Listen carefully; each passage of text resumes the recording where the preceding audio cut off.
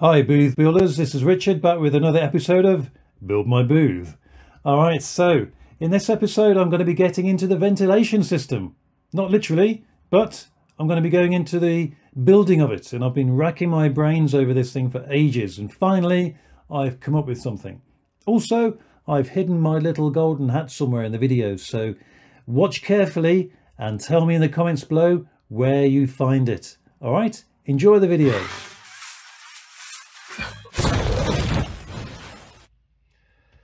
Okay, so I've just arrived to pick up the door. That was quite a journey uh, because there was a bloody road closed um, on the way, which I wasn't expecting, so I had to do a detour.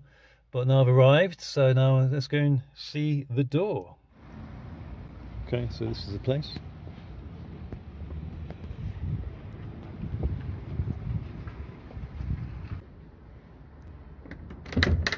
Hiya. Good morning. Come for the door. For the door. We've got the right place, yeah? You have, you have. Awesome.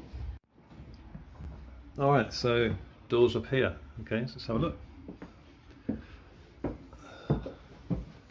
All right, so this is it. Definitely a door. It's got uh, plastic on it at the moment, so. Okay, well, that's, I think it's it's unfinished, so I haven't got any handles or hinges or anything like that on it. So I'll have to do that, but it's, uh, it's a good door, I think. It's quite thick, solid, and it's the best I've come across so far, so I think we go with this one. Now I need to get into the car. Can you believe it started to rain as soon as I got inside the house?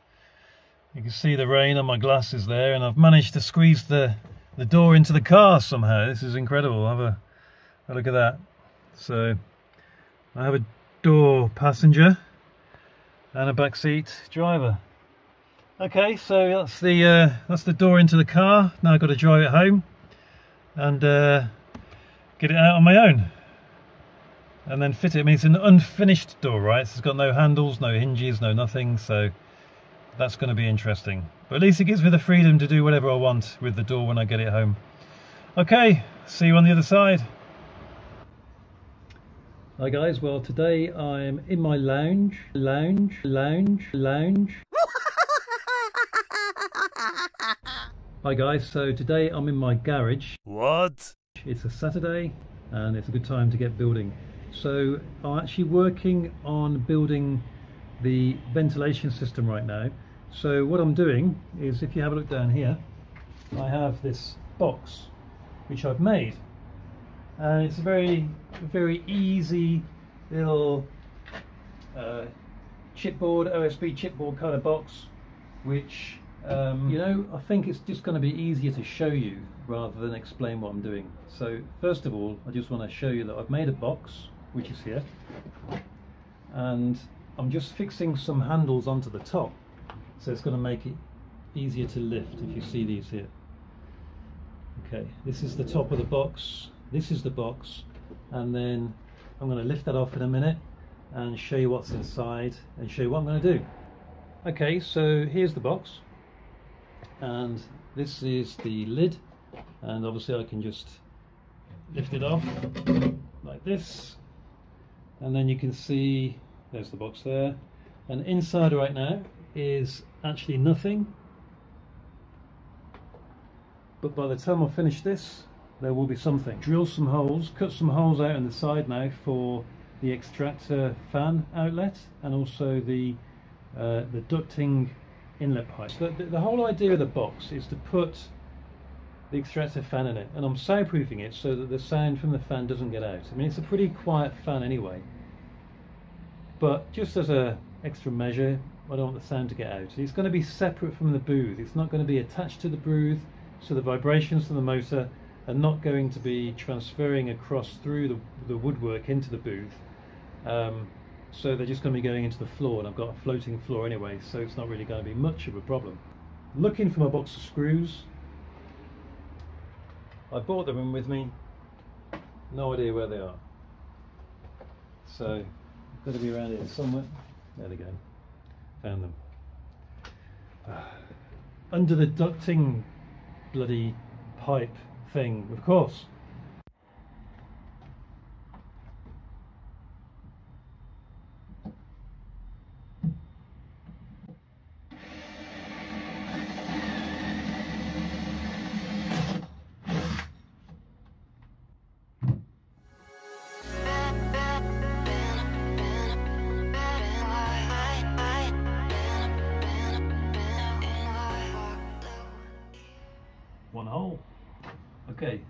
Hole is for my extraction vent.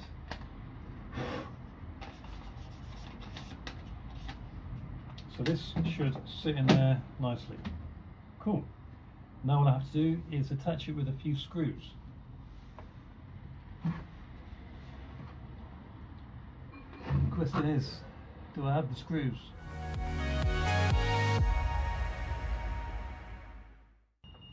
Do, but they're too long.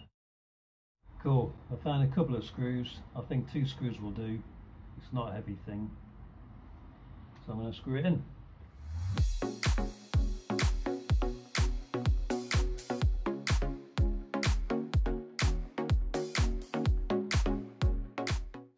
That's not going anywhere.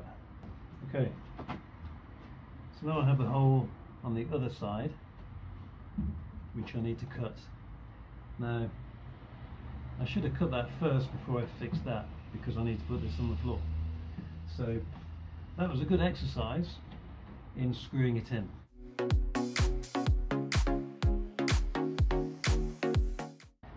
Now I have to take it out. And this bloody flap keeps falling down. Okay, good. So now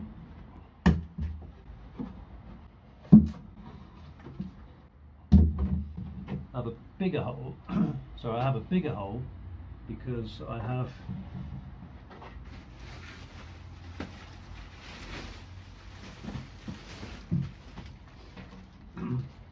I have this ducting to put in in there.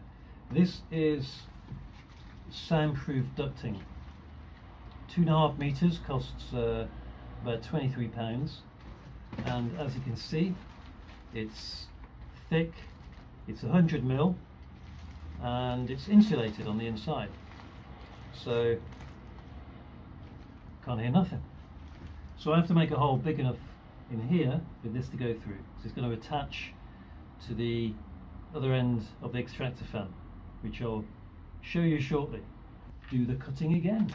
Do the cutting again. Do the cutting again. Do the cutting again.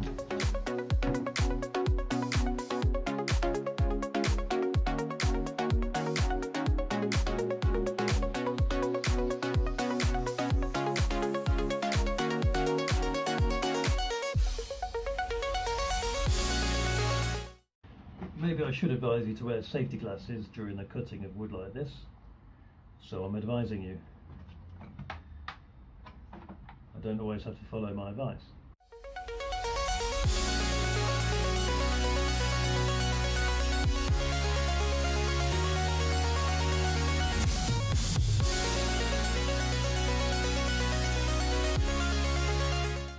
And another hole, another hole, another hole, another hole.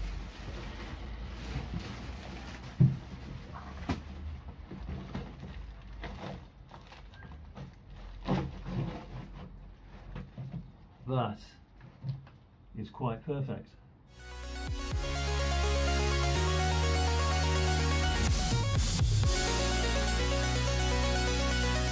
Could have done better myself.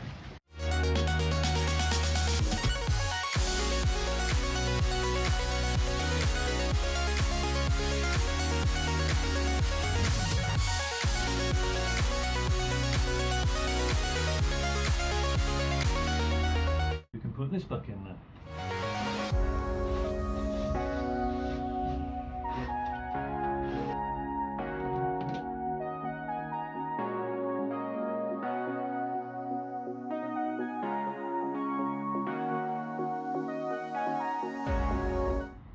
Where's the other screw?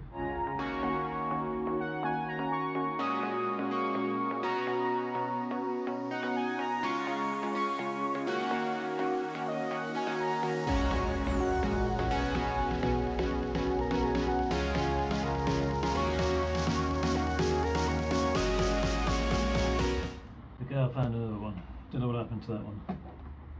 Huh. It's In the fucking hole, fucking hole, fucking hole, fucking hole. How did that go? Ah, Jesus.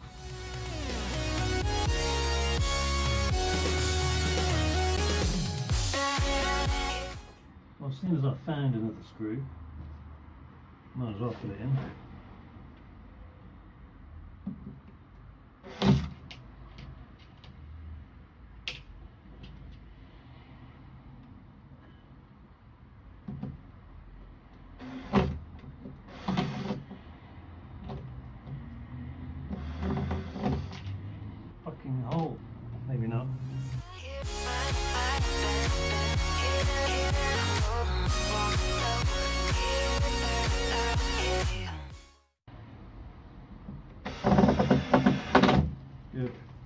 Alright. Three out of four ain't bad. If I find a smaller screw again, I'll put that in too, just to secure the four corners, but otherwise that's okay. Alright. Now we're ready for the fun. Uh, this is the baby. This is a Hon and Guan HF 100 and this is basically if you see here it's got a little cable dangling down. Well that is for a control box which has a very long lead which is a very nice LCD display which you can put into the booth. And it's got a very long lead which enables you to put it a long way away from the actual motor. So this motor is going to be outside the booth and my little control panel is going to be inside. So I can start this and stop it and change the speed of it inside the booth which I think is a great idea. Now this is uh, the three speeds give different um, different amounts of suction. So we've got 165 square meters per hour is the lowest and then the next highest is 198 square met uh, cube meters and then the third setting is 240 cube meters now that's as much air as it can pull per hour and I think that's going to be enough for my booth so I'm going to attach it if you like a look here I'm basically going to attach it to the base of this I wired on an extra lead. The, the, the lead that comes with the motor is not very long, so I put a new lead on there. So I'm basically going to get a little, uh, I don't know if you can see that here, but I'm going to get a little uh, piece of tubing, ducting, that goes from here to here, and that'll attach that there. Of course, I'll have to turn it around because we have an arrow. I don't know if you can see the arrow here which tells you the direction of flow. So that's going to sit in there like this. I'm going to have to drill a hole in the box for the power cables, uh, the power cable and the control cable to, to go out. And I'm thinking, I'm thinking about using, you know, cutting up one of these U-boats and using it as a support under each one of the attachment screws so that uh, if there are, are any vibrations then it's not going to you know, be too much. I'm thinking about that anyway. Um, I also have a carbon filter which I'm going to put on the extraction side of things because I'm going to have a passive inlet. I'm going to see how that goes. So I think there's going to be enough room in here to also fit that. So I'm just going to check that out now. Okay, so I'm actually going to do a live unboxing of a carbon filter now. This is very exciting.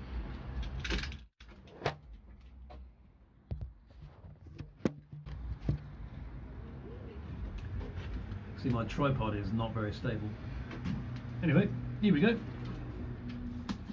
This is a carbon filter which will hopefully absorb all the nasty smells that might come from an inside of a booth. Because basically,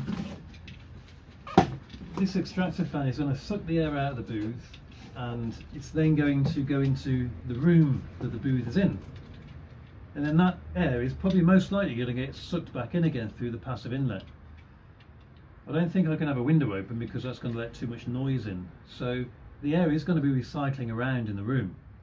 Now, if such things as farting does occur, or whatever body smells, you know what it's like when you're in a closed space for a small amount of time.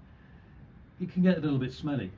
So I've put a carbon filter on the extraction side of things so that that will take that smell away. So when the air comes out, it'll be clean and then it will recycle round into the booth and not smell. Because I don't necessarily want to fart in the booth, gas myself then, and then smell it again a bit later on when it's been recycled through the room. Hopefully my carbon filter will soak it all up.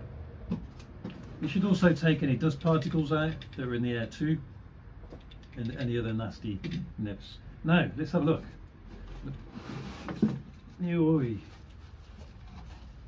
Okay. So here we go, this is the filter. Now, I don't know, I can't remember what make it is. But it basically cost me about £28 off Amazon. And as you can see, it comes with a filter on the outside. Now the only reason why I know that that's a filter that you fit on the outside is because I recently watched a video on carbon filters and how to use them. No. Oh ah, dear. This is not what I'm looking for.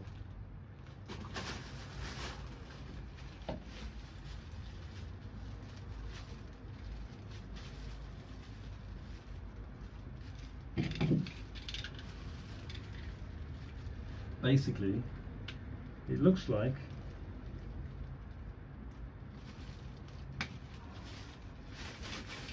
it looks like a filter that sucks through yeah.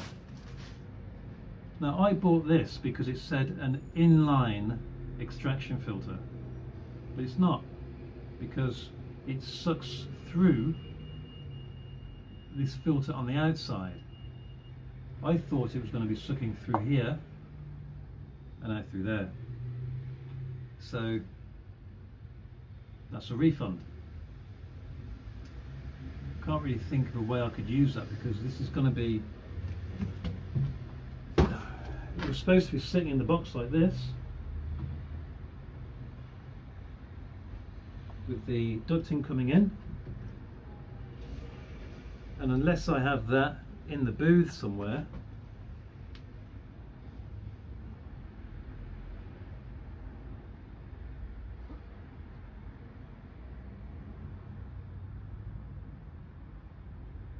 then I can't use it. What? Basically. I have to rethink my design. I don't really want this.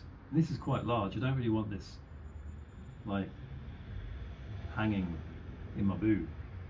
You know, it's not a hydro hydroponics booth. I'm not going to be growing any kind of plants in there. So, that sucks. I'm going to have to rethink what I'm going to do now. Okay. All right.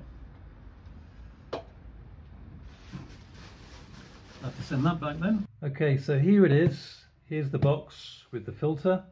I've managed to tape it back up again. I've also been on the computer and I've requested a, a return and refund from Amazon. It's easy, Job done. I'm now going to pop it down to a Hermes drop-off point and I should get the money put back to my account tomorrow. And then later on today, I'm going to have a look at what other kind of filter I can get and also have a look at whether I need a filter now or not. So I'll look into that a bit later on. So I'm now going to pop this down the shop.